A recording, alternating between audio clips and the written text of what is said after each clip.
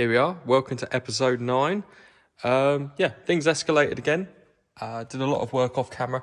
Uh, basically, that was more because of the fact that you couldn't actually see anything while I was working. Uh, the amount of dust and dirt flying off this thing was horrific. We got the quarter panel off. Um, that's only just because I wanted to make a little uh, repair panel for in here um, and also around the lower B post. So it was a lot easier just to take it out. It was only, was it, eight screws, eight screws and about 10 pop rivets. Um, still even left the lights collect, connected there, so nothing major. Um, yeah, so here we go. Let me grab the torch actually. Made quite a lot of progress here, as you can see. Need to uh, stand that up for a sec. Oh, Bruno, go out the way, go on. Need to grind this down a little bit, just tidy this area up here. This is where the uh, panel mounts to here. It mounts to here, and it bolts through here. Um, so we need to do that. Cut out some of the gearbox tunnel. That's gone now, as you can see. And that is down here. So we've got that just to make a nice new template. But it actually makes it a lot easier to uh, replace this box section I found, not having the entire gearbox tunnel in. I'll save that reinforcing part there. But yeah, so as you can see, it's uh, starting to get there now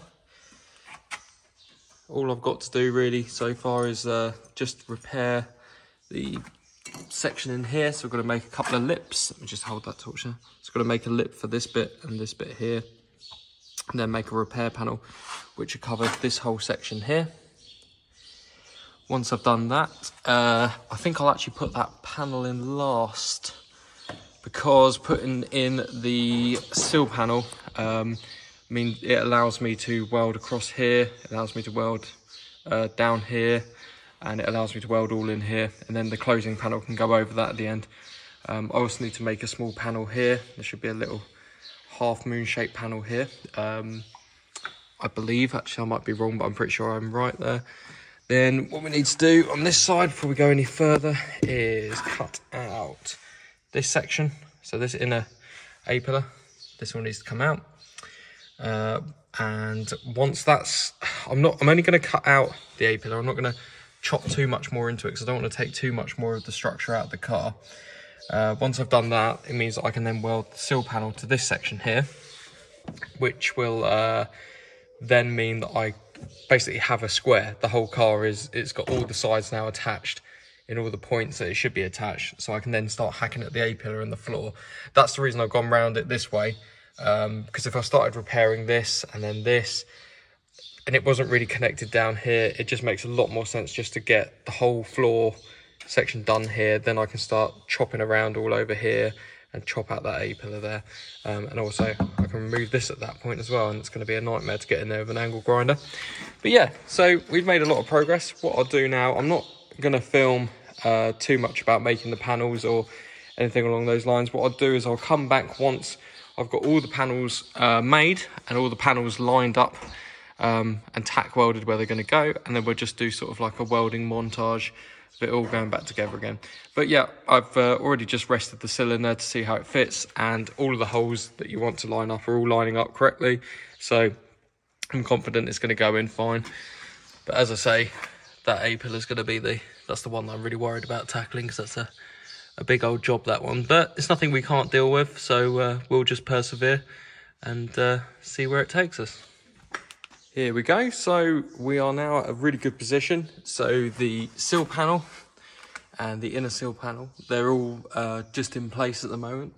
Nothing's finalised here. Um, it's back to its rigid state now, so we've removed the uh, strengthening bar there. Um, it really good. As soon as we pulled it off there, nothing moved at all. Um, there was no sprung weight there, which is very, very reassuring. Um, also, I did make a couple of measurements as well from various points before we cut the sill panel up here to here, because that's a very solid piece. And also, um, it was round on the front there, and we got the exact same measurements in height on the body to the chassis. So nothing's moved there, which is really good. Um, yeah, so it's all just in rough at the moment. Just put a couple of little tack welds on nothing major at all. Um, we've got the new inner one. Let me see if I can get under there and show you the other one. The inner one. Obviously, it's all just in there at the moment, just roughly. There we go. Oh, yep, and I uh, stone chipped all the chassis that we could uh, see. So yeah, so as you can see, it's all in just clamped together at the moment. Nothing's uh, nothing's um, in permanently, which is good. But it all lined up really well. Uh, all the bolt holes lined up, which is nice. We've got. Uh, let's have a look. So what we've got to do now um, is going to be to uh, support the body because we are going to take the um, inner sill panel out again and the body mounts, which isn't too hard. So I say it's only got a couple of mole grips holding it on, and then obviously just the uh, the two body mounts, and, uh, and one up the front through there. And uh, what that means we can do then is we can uh, drill all the holes that we want to all the way along here so that we can spot weld the inner and the outer together. And then we'll do the same as well. We'll spot weld the inner and the outer together through the top. Um, I think we'll just drill trying to work out the best route to go about that. Probably drill we'll probably drill all of the outer sill panel uh, because the inner one's are a lot thicker steel so it'd be nicer to weld the thin to the thick instead of the thick to the thin if you know what I mean. Um, and then we'll have to make a repair panel for this section here which isn't going to be too hard again. Um, I'm going to do that in two pieces. So we'll make one that comes down to here. Sorry we're going to make two little lips one for this one and one for this one. Probably tack weld those together while they're like that just give it an extra bit of rigidity and then we'll make a panel here. And then we'll make a closing panel here. Then we've got a small panel to make here. And uh, a small panel that goes here. Has obviously now revealed that we've got more rust to deal with at the back. We were expecting that. So next thing you'll see is a time lapse of this all being welded together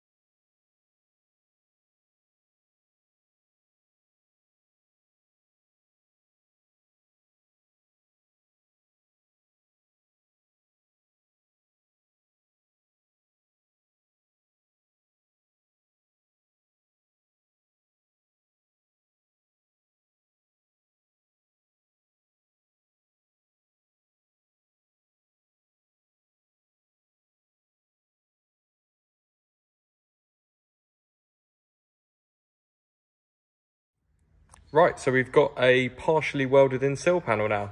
Um, this is as far as I'm going to be able to get in this episode. Um, we will continue it in the next one. But yeah, as you can see, you can probably see from these welds along here, she's been welded from the underside.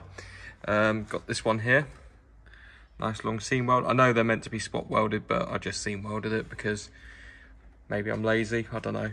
Um, I've also just uh, welded this one and just get ground that back. I'm just going to fill those little gaps in. Got to make a little panel for this side here before I weld that. Just welded in there as well. I'm not sure if that's actually meant to be welded because it wasn't welded originally. Welded these two tabs, this little square here, and then underneath, here we go. There you go, as you can see the body mounts welded in. Um, and I'm pretty sure these are meant to be spot welded, but I've just done sort of, you know, one to two inch um, seams running the length of it. I, mean, I might decide to seam the rest of it, I'm not sure yet, I think that's more than adequate. Um, yep, and then that side's all welded in as well.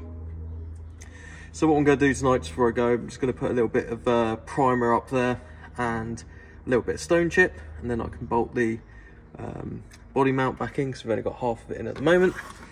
And uh, yeah, also I did, before I put this panel on here, uh, the inner sill, I did paint the inside of the outer sill panel. So it's all painted on both sides of this um, and this. So it's not going to have any future rust problems. But there you go. I must say I'm pretty impressed with the uh, the Artec welder. It's done. Oh, there we go. I mean, they're not the neatest of welds there because I hate welding upside down, but yeah, it's done some pretty good welds. Um, so yeah, I mean, I'm still setting it up and it's a brand new welder, so it'll get better once it's been used a bit. But uh, yeah, I'm pretty happy with how the welds have come out. Sorry, the... there we go. But yeah, that's as far as we got today. Um, next time, shouldn't take too long just to finish this off. As I say, we just got to make this closing panel here, this little lip, weld it up there, make the gearbox tunnel. Um, then that's done. We've now got the A-pillar, the inner A-pillar, uh, because the one that they sent out was actually the wrong side. I don't know if I've already mentioned that, but I ordered the near side and they sent me an offside one. Um, they have just sent me the correct one, so I've got to send that one back to them. Um, but yeah, as I say, once we've welded this sill panel in and repaired this gearbox panel, then we can cut out, let's turn that back on, we can cut out all of this section here. So nice to be able to sit on this knowing it's in. Probably cut around here, all the way up to here, probably actually up to about here, down, and then we'll make a panel and we'll tack weld that one in. Then we'll cut this monstrosity out here. You can see it's had various interesting repairs, including this outer sill lip here. But uh, yeah, we can uh, we can do a better job than that. It does stop literally about there. It's fine up above there, which is fantastic. So we can uh, we don't have to really take the dash out of the scuttle panel. We can uh, slice it just below this bolt hole here, just across. Well, probably actually might even be a bit daring and slice it. Yeah, I think we'll slice it through the bolt hole. Then obviously the bolt will then clamp it down, which will add a bit more rigidity to it.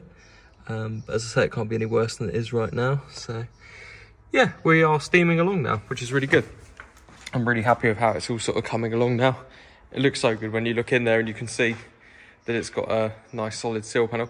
Funnily enough, this one, I did speak to Barry, this one's been replaced and he's actually replaced that driver's one as well. Um, and he sent me a picture of him replacing it back in the, I guess it must be late 80s, early 90s. Um, and I actually thought this was an original sill panel, how good it is. I mean, you'd think I'd just put that in, wouldn't you? But it's in absolutely fantastic condition. And he's done a really good job of it. So, uh, no idea why the passenger one decided it was going to dissolve, going to dissolve, but it has. Um, also, something else I was just going to mention to anybody that's just starting out doing any welding or anything, buy one of these. These extractors, they're fantastic. Um, not a lot of money on uh, Amazon and it really really helps if you're doing any kind of angle grinding if you're doing any kind of welding and because it's pulling the air it's not blowing the gas out when you're trying to weld so it doesn't affect your welding whereas if you're using like a fan it will blow your gas away but uh, yeah i would really recommend investing in one of those when you look at what's come out of it i mean you can see the color of the fans in there. That would have all been in your lungs. But when you look at the uh, back of that hose or pipe even whatever it is it's uh, it's just full of particles of just general crap which you really don't want to be breathing in. But uh, yeah anyway thanks for watching guys. Um, the next episode will be hopefully a little bit quicker than this one took to come out. And we will aim in the next episode to finish this entire side. So that'll be that panel gearbox tunnel footwell a pillar and I want that all done and in primer and back in uh, Tuscan blue paint and then we're going to paint the new inner wing and bolt that on. And then that's it, basically. That's the whole front end done. Nothing else needs doing on the front end for welding wise. And then we've just got the spare wheel weld to deal with. Oh, I got the tailgate open actually, before I forget. That was interesting. Um, never been able to open that, which is why this massive dog crate's still in the back of it, because it wouldn't fit out any other way apart from the tailgate.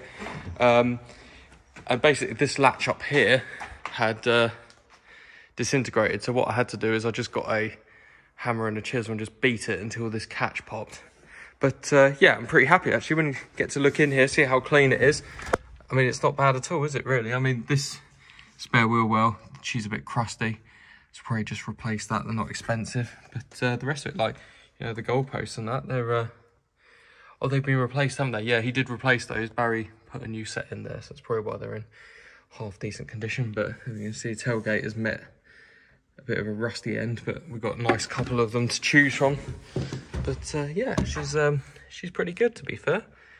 Um, and a lot of that's all nice original paint too. But yeah, anyway, there we go. That's the end of that one. Thanks for watching, guys. And uh, I'll put another one out in a week or so.